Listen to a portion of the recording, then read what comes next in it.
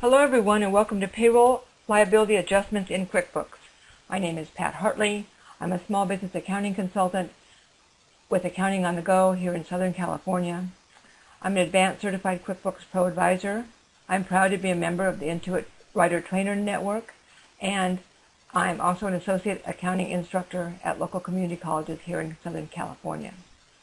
Let's go ahead and get started in our QuickBooks file and adjusting our payroll tax liabilities. Now I know that payroll in itself can be a bit intimidating. And then when you have to make an adjustment, it can be absolutely terrifying. That we want to make sure that our general ledger and our tax returns all are in sync and they all have the right balances and they all have the right reporting. So let's see how we, QuickBooks has made that simple for us. We need to know the right path. The first thing I'm going to do is I'm going to go to my, my payroll report summary I'm going to go here to Reports, Employees and Payroll, Payroll Summary Report.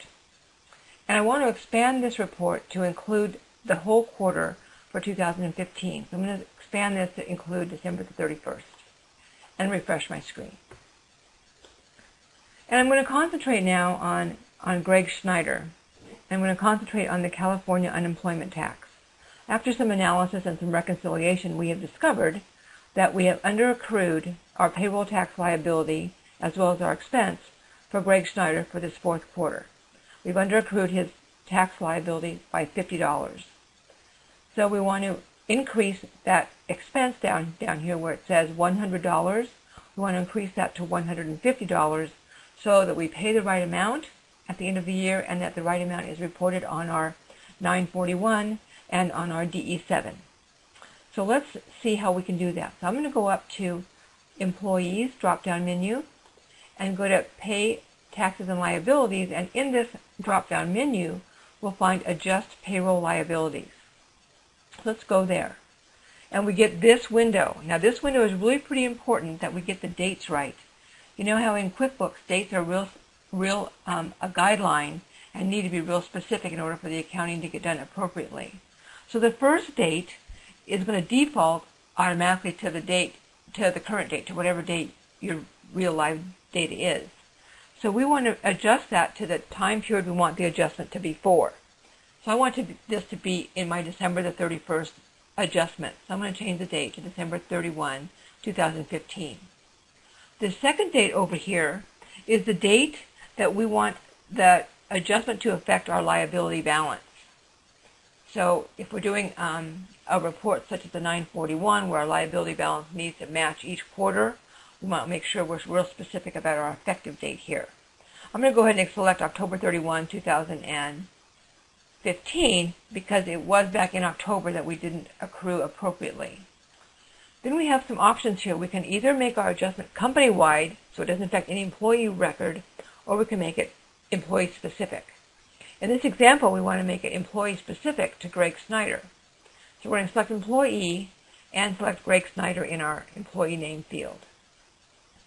And down here in the body of our window, we have our payroll item to select. We select the correct payroll item that we want to make the adjustment for, unemployment company taxes. And we want to put the amount in here. Now, if we had under over accrued, we would want to put a negative $50 here. But in this case, we underaccrued, so we want to increase our liability and expense by $50. So we enter $50 here. And over in the memo, we would write why we're making the adjustment. Now, we need to make sure that the right accounts are affected. We want to increase our liability and increase our expense. The accounts that are associated with that payroll tax item. So let's go over here to this button that says Accounts Affected, and it's going to help us know what's going to happen here.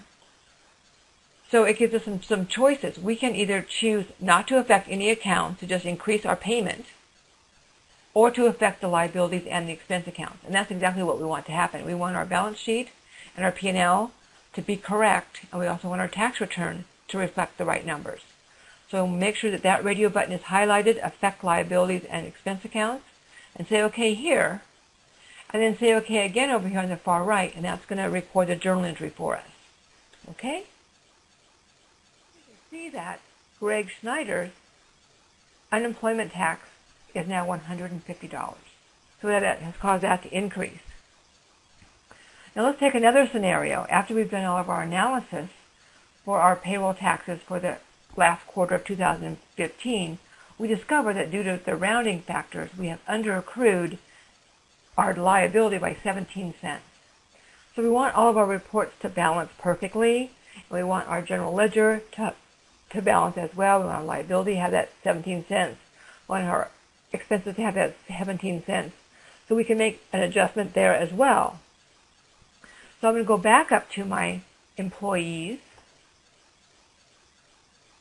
payroll tax liabilities, and go to adjust payroll liabilities one more time. And I'm going to make my my date and my effective date both December the 31st of 2015 because that's I want to affect it as of that period. But I want this to be a company-wide adjustment. I just want to increase both accounts by 15 cents. So I'm going to leave the company radio button highlighted.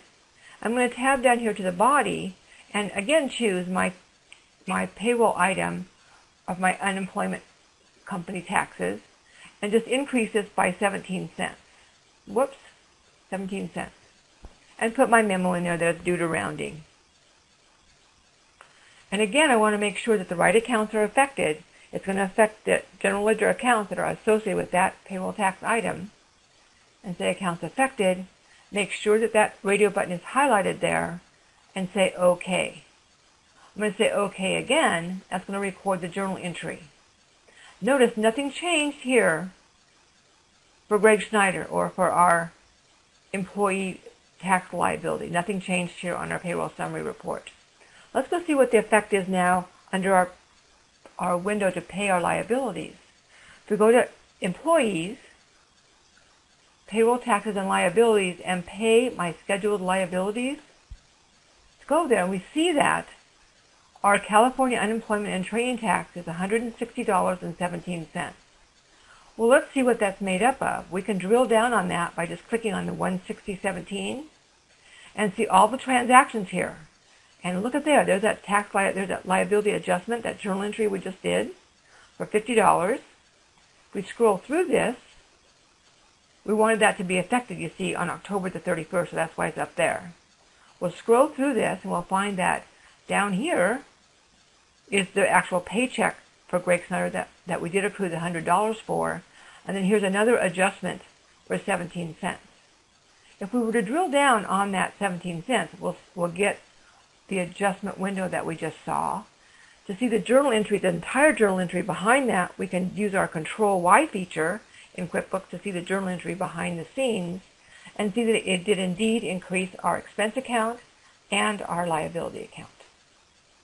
I'm going to go ahead and escape out of here and out of this window as well. And now you can see that we're able to pay our full payroll tax liability. If we want to go here to view and pay that check, put a check mark over here, go here to view and pay, and we can see that we would be paying an employment tax of $150.17 and the employment training tax of $10. I'm going to go ahead and cancel this. I'm not, I'm not ready to pay it. I just wanted to display that. So I'm going to go and close this window now. Go back to my payroll summary re- report. And just to recap really briefly, in order to make adjustments to your payroll tax liabilities in QuickBooks, you're going to follow the path here under Employees, Payroll Taxes and Liabilities, and adjust your payroll tax liabilities. And just follow the path here. Make sure you select Accounts Affected and select the option that you want to choose. I really hope this was helpful. My goodness, I've got something wrong here. I hope this this was helpful. Oh my. I look forward to um, presenting another webinar for you. Lost my mouse, it seems like. There we go. Okay. Thank you very much for attending. Remember to use your adjust payroll liabilities screen. Thank you very much.